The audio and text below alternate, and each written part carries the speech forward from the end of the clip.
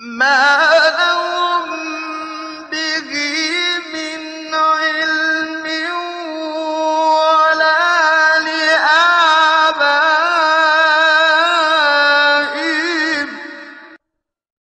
كبرت كلمة تخرج من أفواههم إن يقولون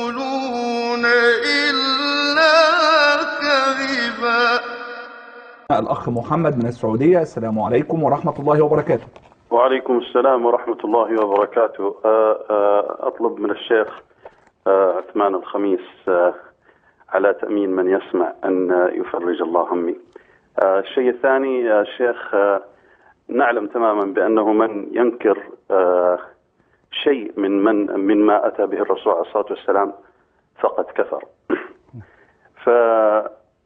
فبالنسبة للشيعة وهم يفضلون علي على أبي بكر وعمر. ما حكمهم في هذا؟ وهل من الشيعة من يفضل بما أتى به الرسول عليه الصلاة والسلام؟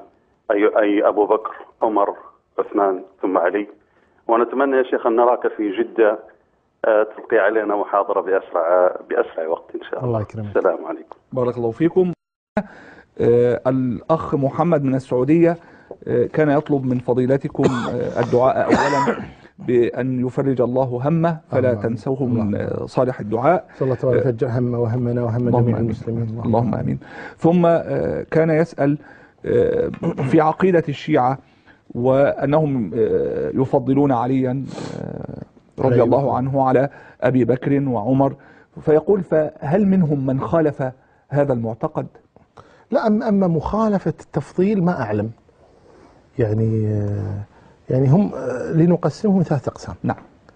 قسم يقول علي أفضل من أبي بكر وعمر ويترضى عن أبي بكر وعمر وهم الزيدية نعم. من الشيعة. وقسم آخر يقول علي خير من أبي بكر وعمر ويطعن في أبي بكر وعمر وهم الرافضة. نعم. وقسم ثالث من يقول علي خير ويكفر أبا بكر وعمر وهم غلاة الرافضة. نعم. طيب ف لا شك إن هذا ضلال مبين والعياذ بالله اللي هو آه، تكفير أبي بكر وعمر أو آه، آه، طيب بل, بل تكفير أبي بكر وعمر كفر. نعم. بالله جل وعلا. والنبي صلى الله عليه وسلم يقول من كفر مسلما ولم يكن كذلك من قال لاخيه هكاه ولم يكن كذلك إلا حارت عليه. نعم.